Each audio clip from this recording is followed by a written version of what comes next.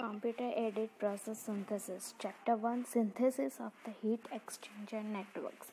Heat exchanger generally we use to transfer the heat between any the utilities and uh, our streams. So, uh, here the lecture 1 uh, content is what are the objectives of heat exchange synthesis what are the basic heat exchanger network synthesis problems? And minimum utility targets. How we'll decide the minimum utility targets? An example for typical heat integration problem. So first we'll start with the objective. This chapter introduces several algorithmic approaches that have been developed for process integration to satisfy the cooling heating and power demands of a process. After studying this uh, all the things uh, the reader should know the objective of at least heat uh, exchanger synthesis. The first uh, objective of the heat exchanger synthesis is be able to de- determine the minimum energy requirement targets. That is to compute the minimum usage of heating and cooling utilities when exchanging the heat between the hot and cold stream in the process.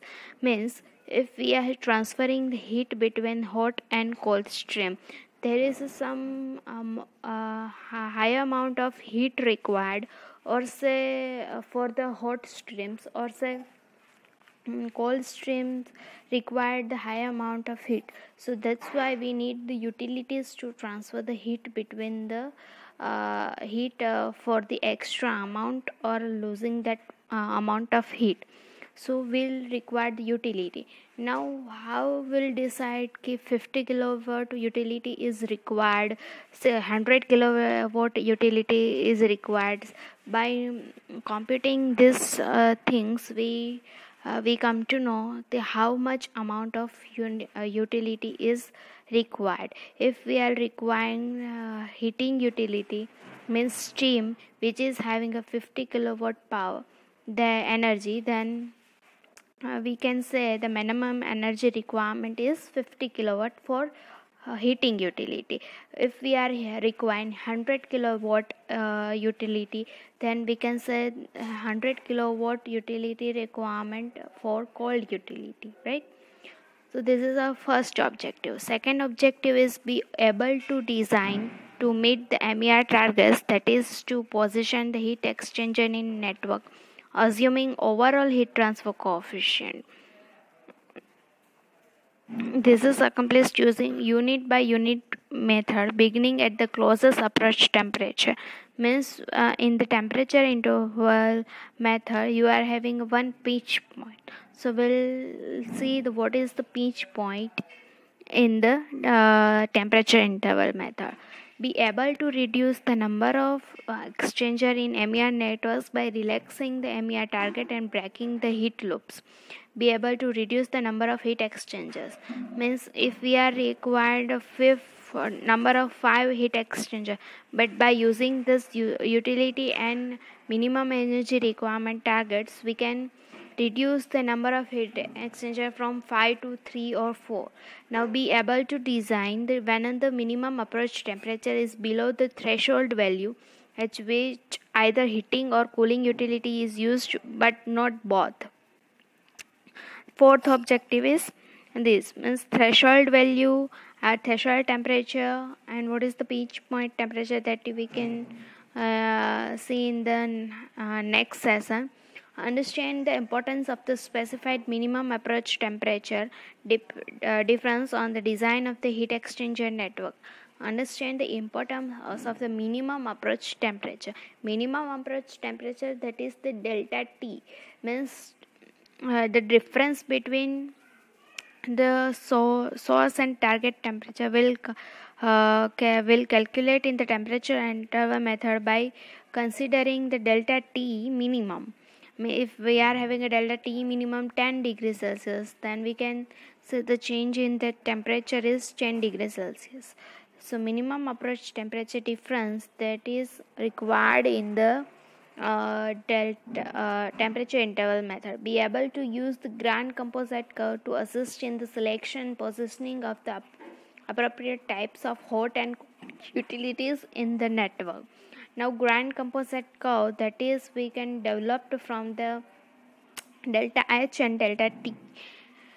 Uh, that is one of the method of the minimum energy requirements target uh, be able to apply the several approaches to design an energy efficient distillation trains including the adjustment of tower uh, pressure, multi-effect distillation, heat pumping, vapor compression, and reboiler flashing.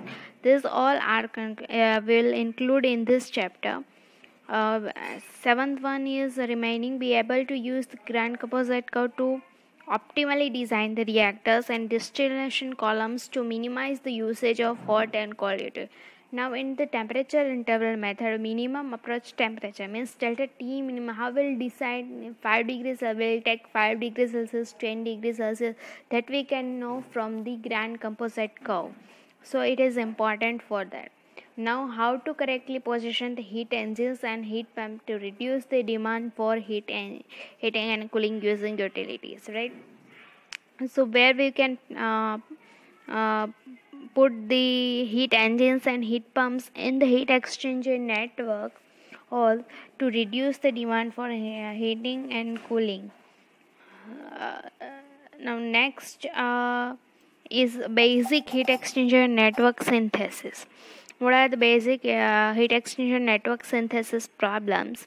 So our basic HENS problems is following. The set of the hot process streams to be cooled and set of the cold to be heated means a set of hot process which we want to cool and the set of the cold process streams to be heated. So we need to provide the, that amount of energy to the, the cold streams and we should remove that amount of energy from the hot streams the flow rates and the inlet outlet temperatures for all these process stream. We need to maintain these flow rates the heat capacities for each streams versus this temperature as they pass through the heat exchange process.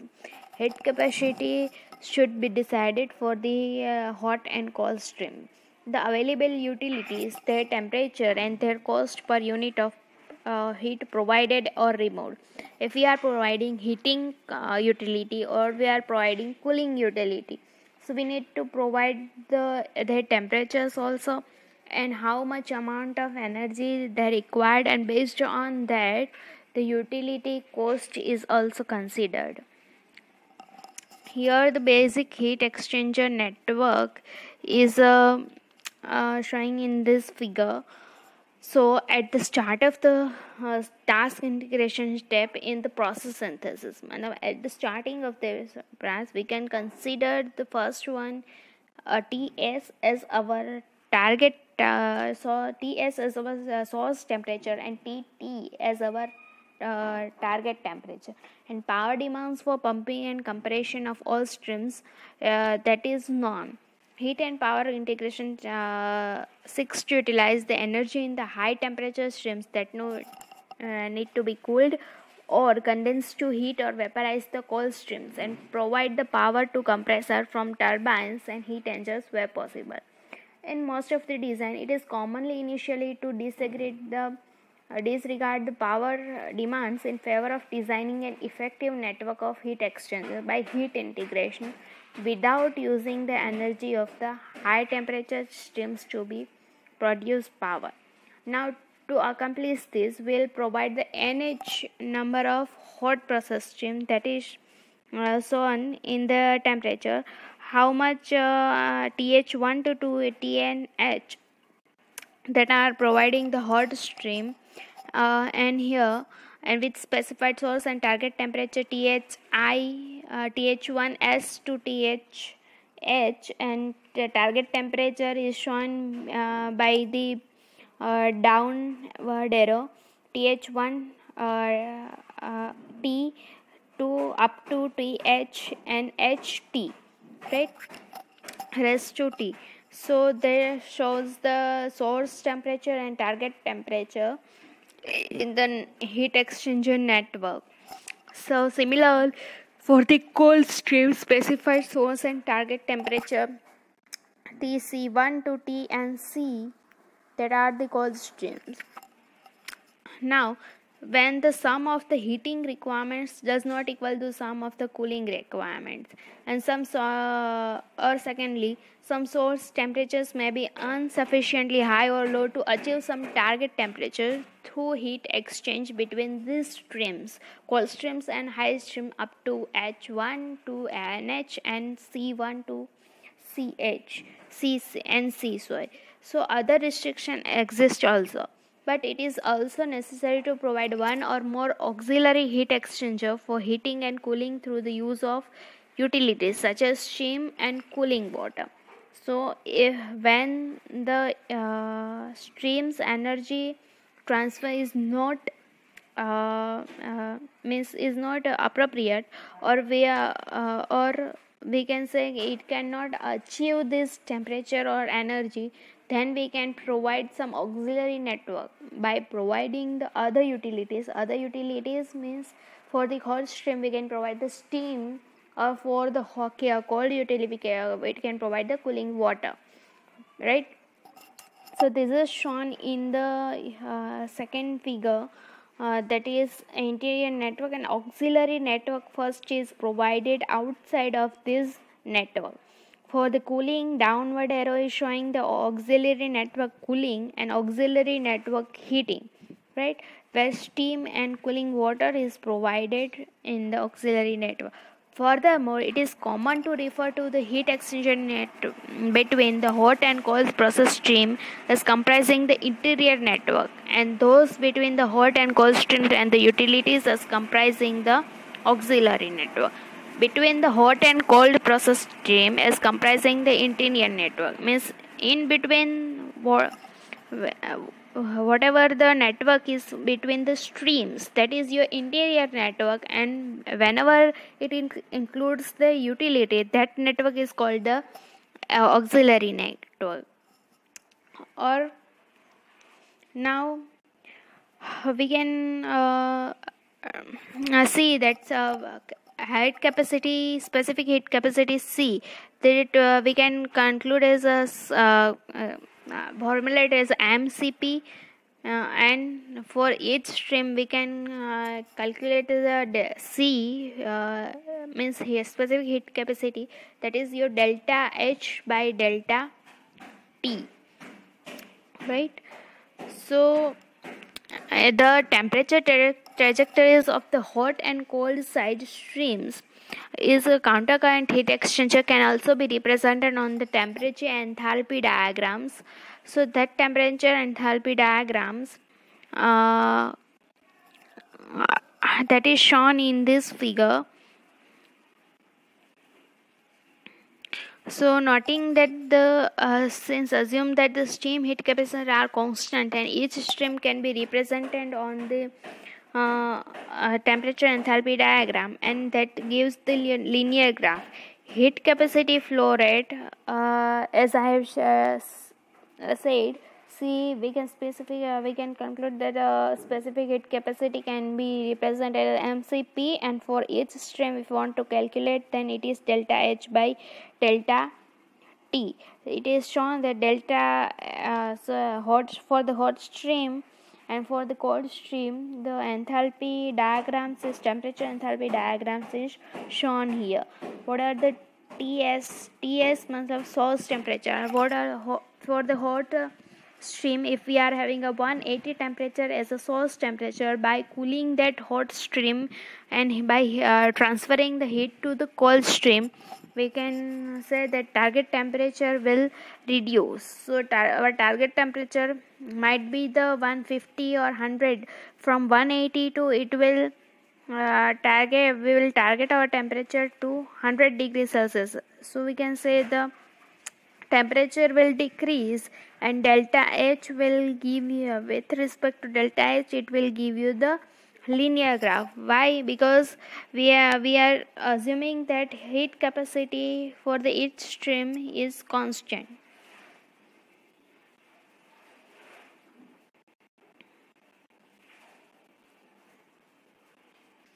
Now next one is minimum utility targets. Minimum utility targets mean as we have discussed that uh, total uh, total heat transfer in between the uh, this hot and cold stream when it is uh, not enough then we require the utilities. So what are the target of the uh, minimum utilities? Uh, minimum utility required how much amount? So uh, how, how we will uh, calculate this uh, minimum utility or say minimum energy requirement? MER is no nothing else. MER means minimum energy requirement right? So minimum utility target or we can say MER means minimum energy requirement targeting so principal objective in the synthesis of HENS is the efficient utilization of energy in the hot process streams to heat and cold process streams.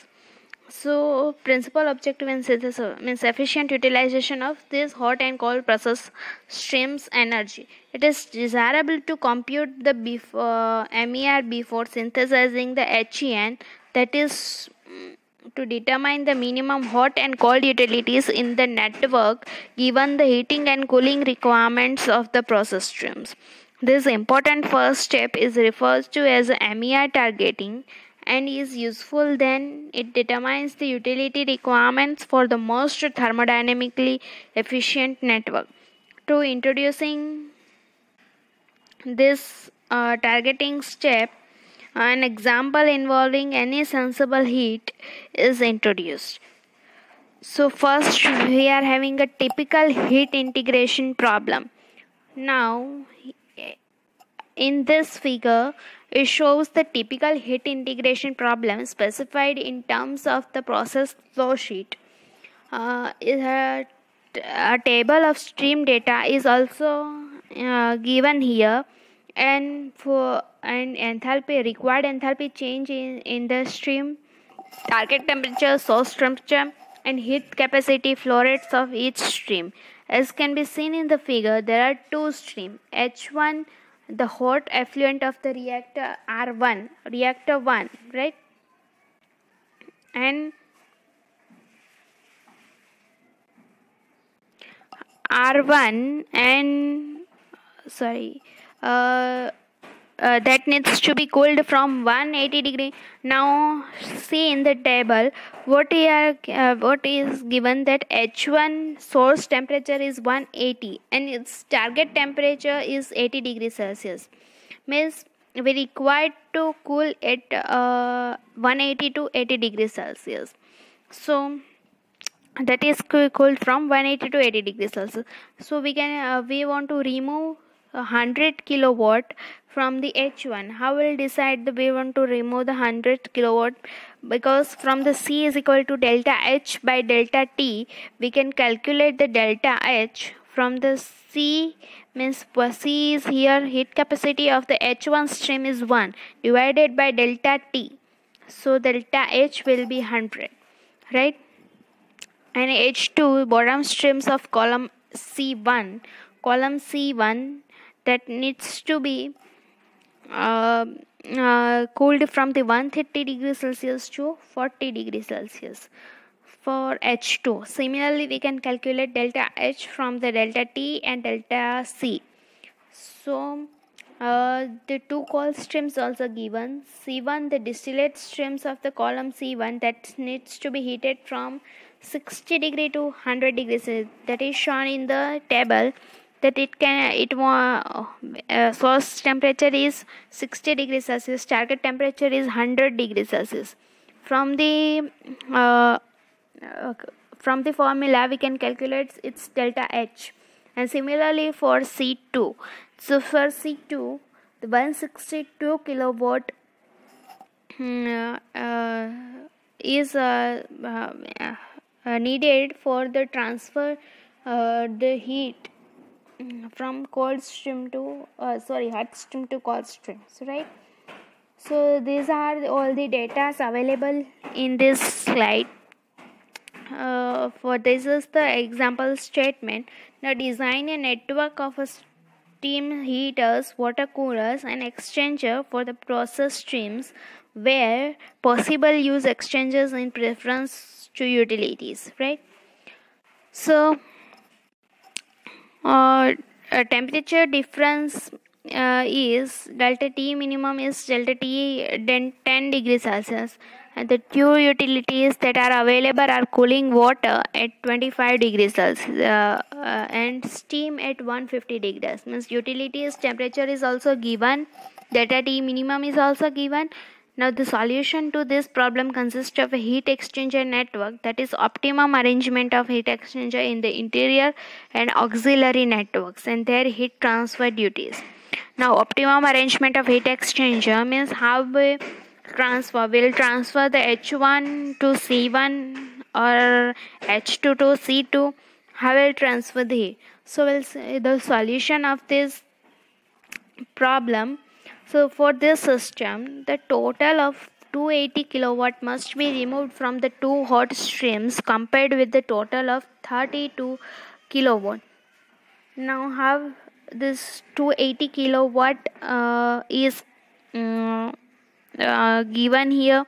So uh, we'll see in the table uh, the hot stream delta H means requirement is 100 plus 180 so that is 280 and in the cold stream 160 to 162 of 3 uh, 32 kilowatt. That is demanded by the cold stream.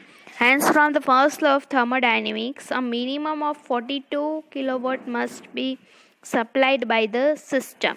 So uh, total uh, difference between this 332 and 280 is 42 kilowatt that is from the thermodynamics that much amount of heat is needed.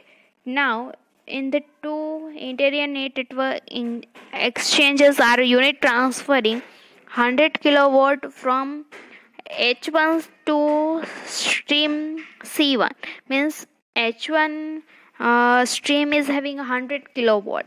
So it will transfer to c1 to 100 ki- uh, kilowatt right and the second unit transfers H2 will transfer the 162 kilowatt to C2 now remaining so we can say that the if H1 will transfer to C1 100 kilowatt then it requires 60 kilowatt extra energy. Means 60 kilowatt uh, power is required means difference between 160 to 100 is 60 so you will require the 60 kilowatt extra. And similarly h2 will provide this uh, heat to c2 so it will require the extra uh, h2 is having the extra power 18 kilowatt cooler using cooling water utility. If uh, c2 so cooling water is uh, H2 will provide 160 so that difference between 18 kilowatt right? So this uh, targets we can conclude uh, so we can conclude that 18 kilowatt is in cooling water utility to provide the additional cooling duty required by steam H2 not provided by uh, C2 right? So this is the thing. We are saying uh, steam utility will require the 16 kilowatt and cooling water uh, as a cold utility will require the 18 kilowatt. And total units will require the 4 units right? Two utilities and two heat exchangers. So since the design of this HEN hmm, uh, has neither considered the MER targets or not uh, utilized procedures for optimal HEN synthesis. Its assessment focus on the two questions. How do the heating and cooling utility duties of 60 and 18 kW compare with the MER targets? And it is it uh, possible to synthesize HEN with the fewer than the four heat exchanger used here? And if so, what are its utility requirements? In this section, the first of these two questions is addressed with the second which usually involves the higher utility costs and decrease the capital cost. Postpone. Uh, so in this typical heat integration problem, what we'll see, we'll decide, we have decided we have, we will use only two heat exchanger and two utility. Means the capital cost will be decreased but utility cost will be increased here. So how we can uh, consider these minimum utility targets? So for that two methods are introduced to estimate the minimum energy requirement targets. We cannot directly say that we, H1 will transfer heat to the C1 and uh, remaining here uh, streams H2 will transfer the C2. That's why we want uh, exact computing method that is the graphical method using composite heating and cooling curves. It's grand composite curve for hot streams also and cold streams also and to be defined and the temperature interval method. And second method is your temperature interval method right? So minimum utility target uh, topic is covered here. Now what are the reference books? Reference books is Biegler the systematic methods of chemical process design and second book is product and process design principle Seider and Seader book. These are books used for the your computer aided process synthesis subject. Uh, thank you uh, for listening and please like share and subscribe this inimitable chemical engineering